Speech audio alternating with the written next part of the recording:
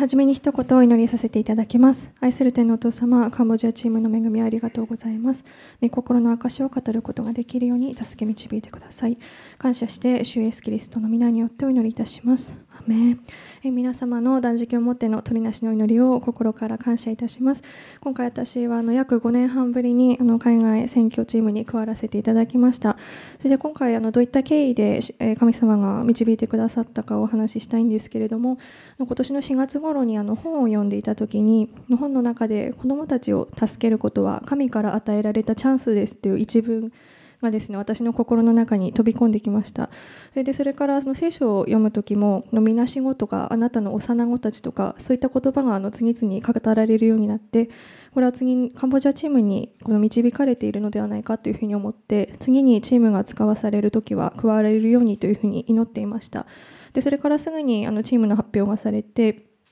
であの確認を神様に取っていった中で今回はすごく行きたいっていう思いがあってであの行って確認したいことからもあったのでの神様にあの言葉をどうか与えてくださいってこうずっと祈ってた時にある時のデボーション箇所がマタイの8章であの百人隊長がしもべの癒しのためにイエス様にただお言葉をくださいっていう根幹する箇所ででそれに対してイエス様が「再起なさいあなたの信じた通りになるように」っていう語られる箇所からの確認を受けてきました。でそれだっても自分が行って何ができるのかなっていう疑問はあったんですけどそれもあのエゼキエル書の2章の4節から「私はあなたを彼らに使わす」っていう言葉が与えられての確信確信と平安のうちに行くことができました。それであの子どもたちとの交わりを通してもですね本当にあのこんなに子どもたちに触れられるとは自分でも思わなくて本当にあの心が癒されて満たされていきました。それであのこの子たちのために自分が何かできることをしてあげたいなんか助けてあげられることがあるなら助けてあげたいっていう思いがすごく与えられてでこの子たちを助けることによって自分の人生はすごく恵まれるっていうふうに思いました。であのチームの初日のデボーション箇所がの使徒の働きのところ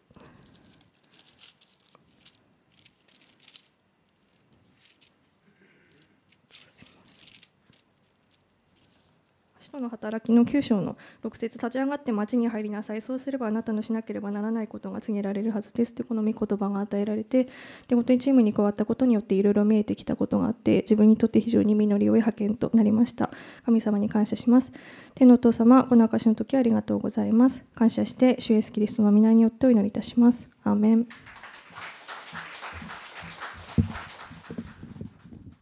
イエス様は証の時を持ちます。イエスの名前で念します。アメン。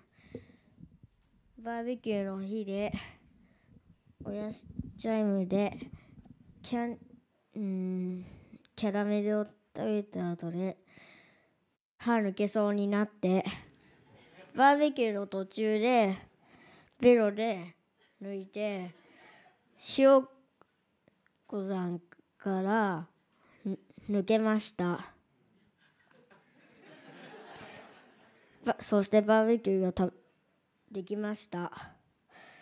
ウォータースライダーも楽しかったです。終わりです。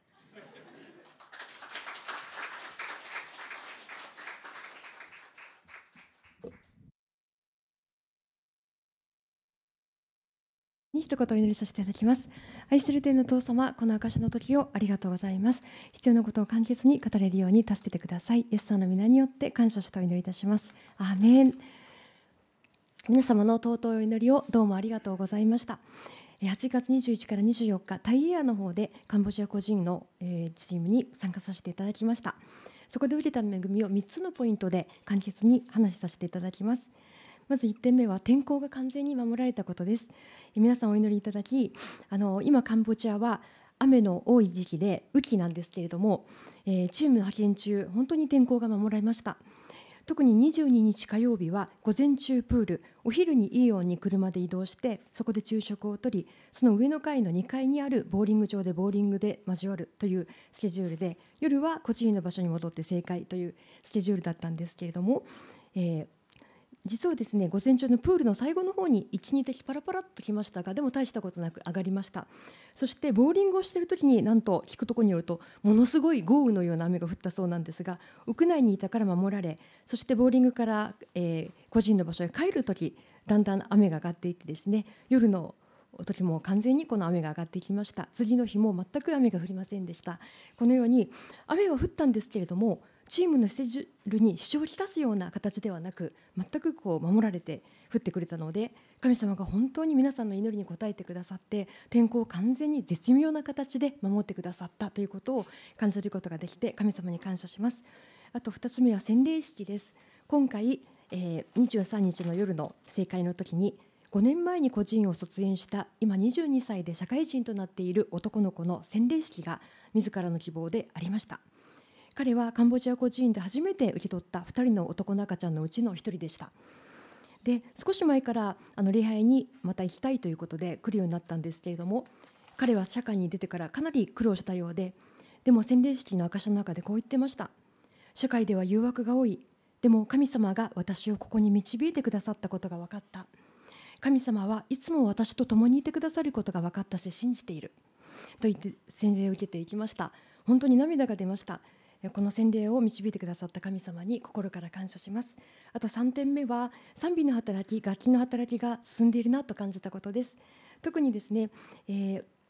えー、全体みんなであの子どもたちが日本語で賛美してくださるくれる特別賛美の時がありましたがえ今までは短い曲をあの覚えて歌っていたっていうことが多かったんですが今回は長い難しい曲「このままで」とか「花色」とかですね。私でも時々歌詞を間違えそうな あのいい曲だけど長い曲なんですけれどもそれをみんなでしっかりと覚えて日本語で上手に歌ってくれました。それで本当にあすごいなと思いました。あと楽器においても今年の1月のチームが行った時にてるみちゃんを通してキーボード教室が行われましたがそこで学んで特に熱心に学んでいた小学生の女の子がえー、と白馬っていうあのチームの特別賛美の時に奏楽をしてくれてですね本当に上手に弾いてました。さらにその子はギターのを弾くのもこう興味を持ってですねいじっていたりとかしたんですね。本当に賛美の働きでもバージョンアップしてるなと思って感謝しました。